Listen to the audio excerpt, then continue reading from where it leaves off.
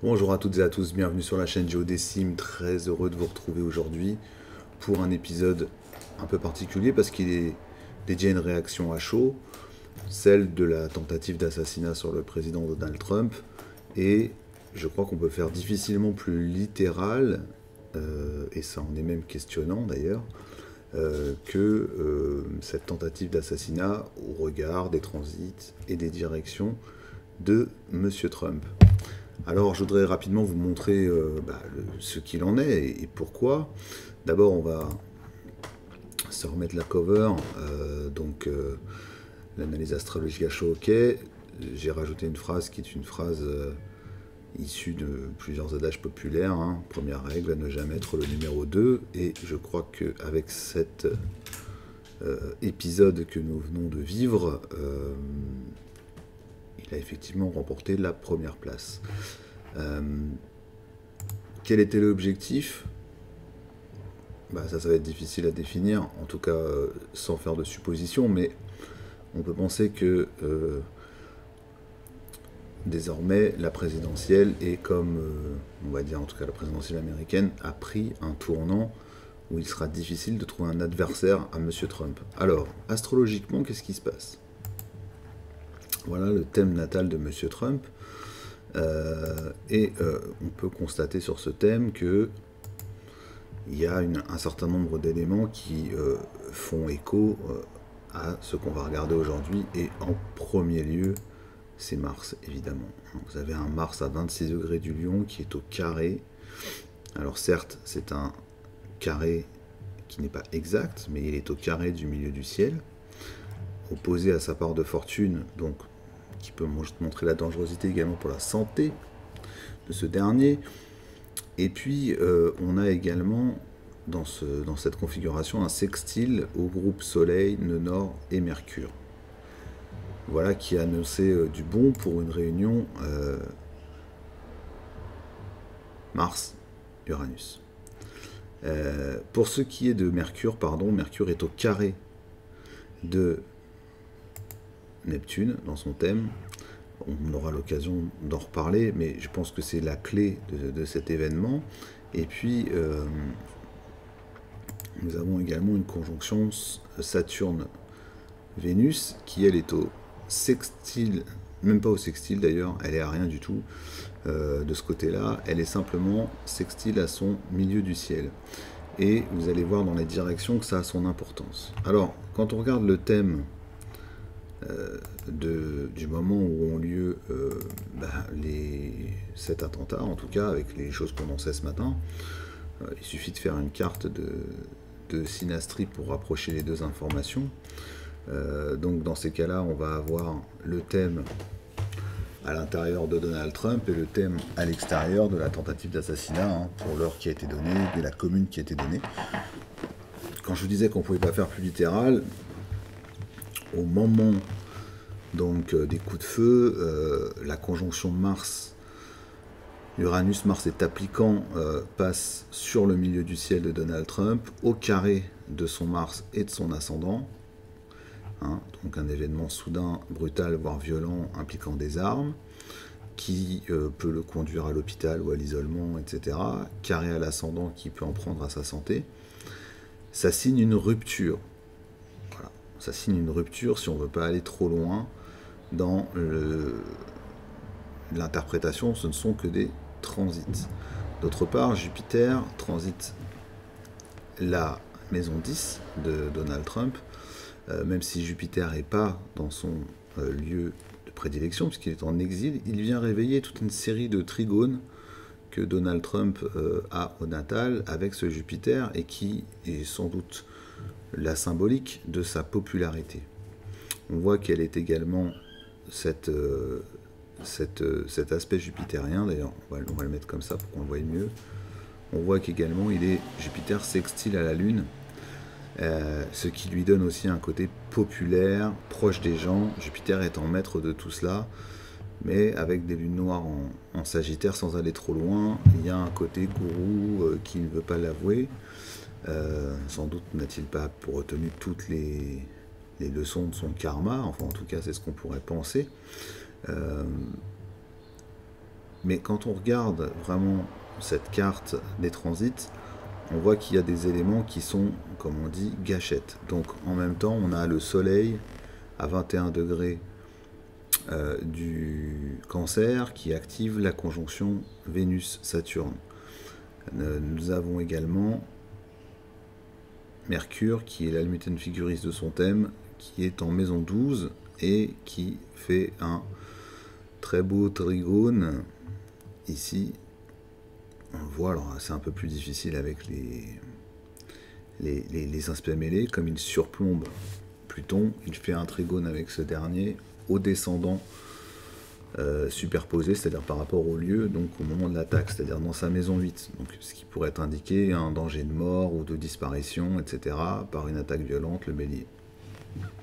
Mais, mais, mais, mais, mais, mais, mais, ces aspects au natal ne sont pas confirmés, notamment le maître de 8, euh, Jupiter, la 8 c'est la mort aussi, hein, et les circonstances de la mort, déjà nous renvoient peu euh, à ce qui se passe, et deuxièmement, Jupiter fait des aspects positifs et c'est réveillé par le passage de la Lune. Vous savez que la Lune a toujours un rôle gâchette. Voilà, et sinon on pourra noter également la Lune qui parle de la popularité, qui est dans la maison 10 de l'événement, euh, qui touche la cuspide de 3, donc euh, la façon dont on communique, et c'est à mon sens l'importance de cet événement-là, c'est comment on communique sur le personnage, et enfin on a Neptune, qui est une planète qui a toujours tendance à transformer les choses, notamment c'est la planète du cinéma, de l'image, de la photographie, euh, de toutes ces choses qui font travailler notre imaginaire au 29e degré du poisson et qui est quinconce exactement à son ascendant et qui va donc pour moi traduire une volonté de transformer cette, euh, cette image euh, du, président, enfin de l'ex-président Trump et du, et du Trump candidat président. Alors, une fois qu'on a dit ça, il est intéressant d'aller jeter un œil sur les progressions pour savoir ce qu'il en est. Parce qu'évidemment, sans les progressions, c'est un peu compliqué d'aller dire, et pas que, hein, mais là on va pas pouvoir se lancer dans des grandes études approfondies vu que c'est sur le vif, mais on va aller regarder les progressions de, de M. Trump et voir ce qui corrobore ces transits ou pas. Alors, dans les progressions de M. Trump, en direction secondaire, donc les progressions classiques, on a, euh, bah, on a une belle illustration de ce qui se passe. C'est-à-dire qu'on a Uranus et le nœud nord qui ont peu bougé, ce qui est bien normal hein, avec tout ce temps, mais Uranus se superpose sur son nord, donc c'est un moment aussi gâchette qui est réactivé par le trigone à son Jupiter natal, mais aussi à la conjonction Vénus-Jupiter. Et j'insiste dessus, cette conjonction Vénus-Jupiter, vous voyez, elle est au carré de la conjonction natale de notre ami Trump, qui est Vénus-Saturne. Et le milieu du ciel est entouré par Saturne et Pluton dans la 12, ce qui indique une transformation de ce qu'il est et de ce qu'il représente par la force des choses, et une transformation irrémédiable.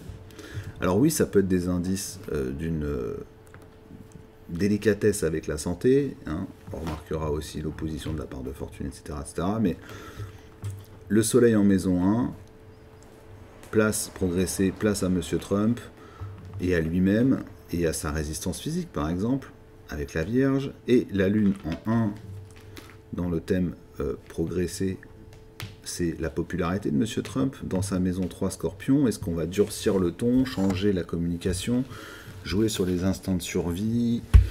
Bref, toutes les choses un petit peu troubles qu'il peut y avoir du côté euh, du, Scorpion parfois.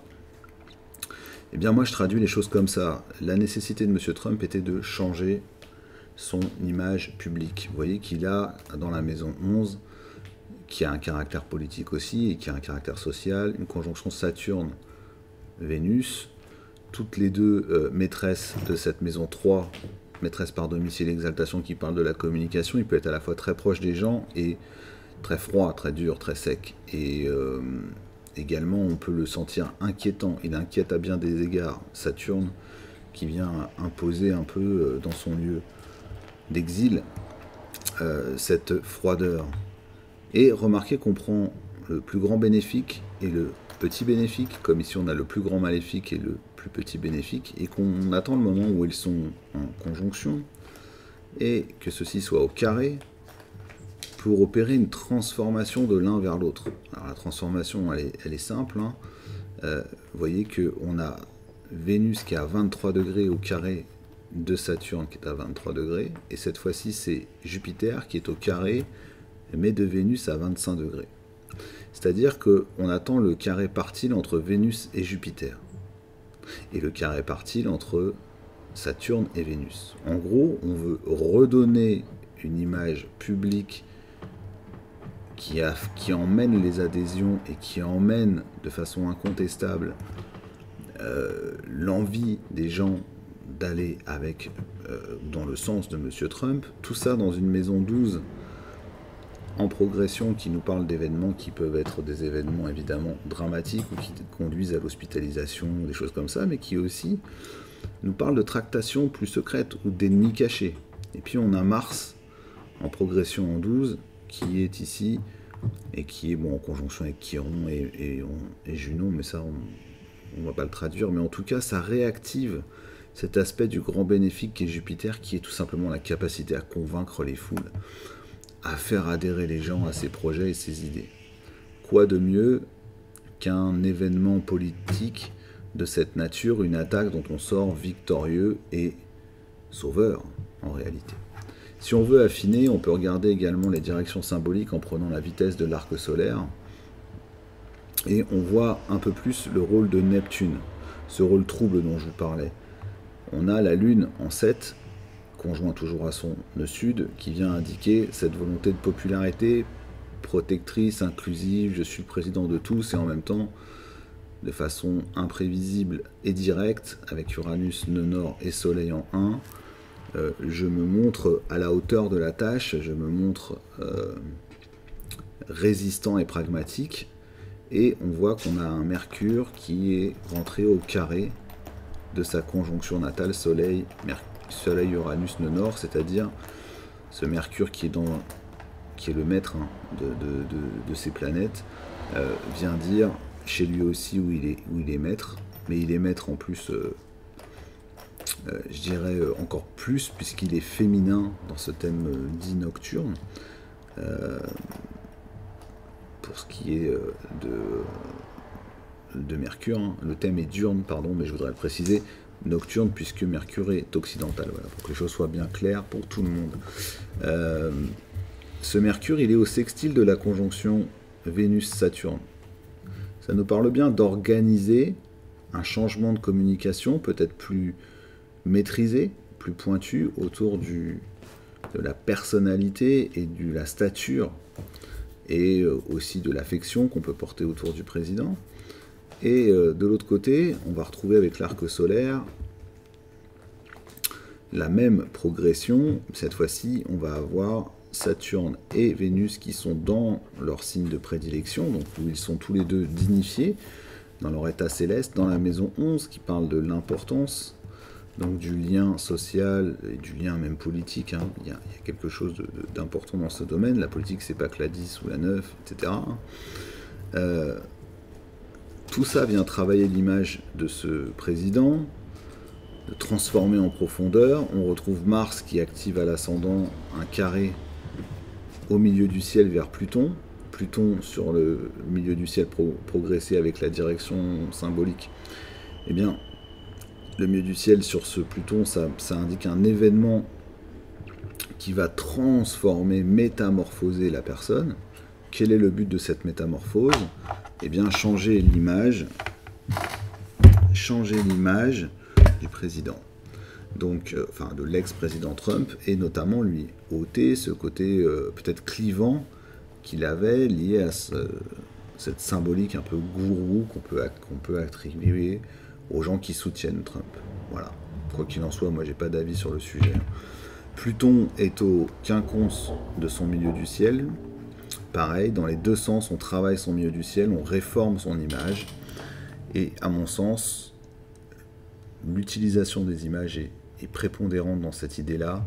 C'est le quinconce que l'on voit ici entre la Lune et Neptune, c'est-à-dire il y a quelque chose qui cherche à transformer l'image, à la rendre plus appropriable par l'ensemble, dans la maison 7, superposée à la maison 7, Euh, mais c'est pas chose gagnée ni facile. Voilà. Et dans le même temps, on a dans la communication, maison 3, Neptune et Jupiter, mais Neptune se superpose à la conjonction Lune-Nœud-Sud, toujours dans la maison 4, opposée à son Soleil en 10. C'est-à-dire qu'on vient brouiller les cartes, si je devais le dire autrement. On vient un peu brouiller les cartes, ce qui est d'ailleurs la technique souvent utilisée par Donald Trump euh, sur certains côtés. Et puis, il y a cette dimension mystique du personnage dans les événements qui sont produits, avec cette façon de se relever, de, se, de, vouloir se, battre, en découdre, d'insister, de montrer qu'il a un sang-froid à toute épreuve.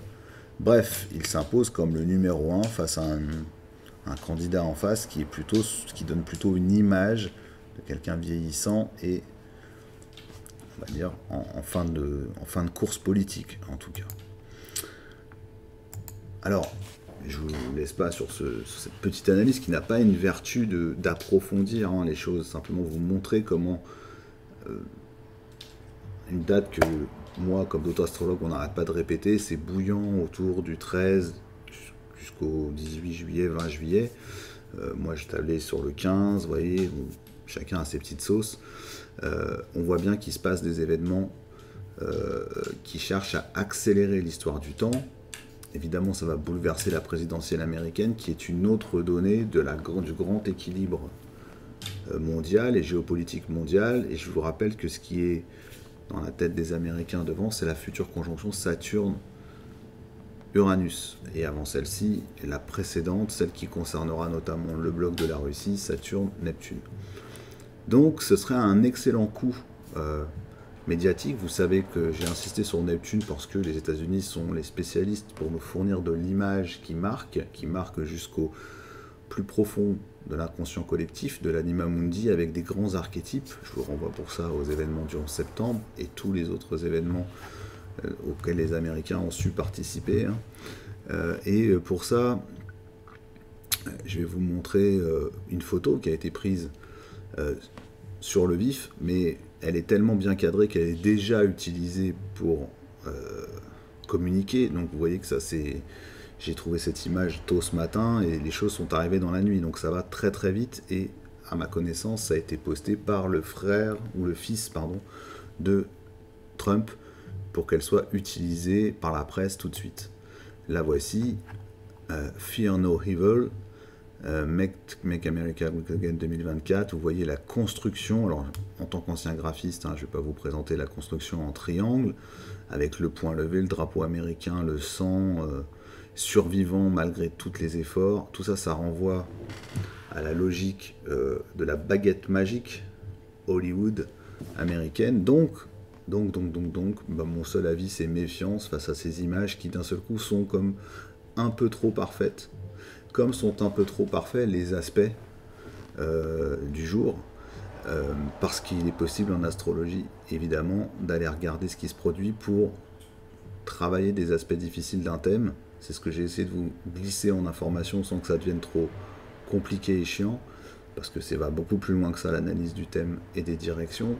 Mais en tous les cas, vous voyez qu'on a essayé de changer une image du président et on passe de Saturne à Jupiter mais cette fois-ci un Jupiter incontestable, parce qu'aucun dirigeant ne contestera la valeur, le courage d'un être humain qui manque de se prendre une balle et survit et se relève tout de suite le point levé. Sur ce, je vous souhaite un bon dimanche. Restez euh, bien sûr connectés. Je vous montre rapidement les deux prochaines vidéos qui sortent sur la base, la partie réservée aux membres euh, de la chaîne. Donc euh, les encadrements de la Lune, les fondamentaux toujours de l'astrologie karmique, elle est sortie hier et elle est disponible. Et la prochaine à sortir, que vous voyez juste au-dessus, approche karmique du radix, les bons réflexes pour débuter, où on fera le topo des points qu'on doit relever l'un après les autres pour construire déjà une première carte des soubassements métaphysiques d'une personnalité et puis des challenges transgénérationnels et ou karmiques d'une personne. A très bientôt sur la scène Géodécime. Ciao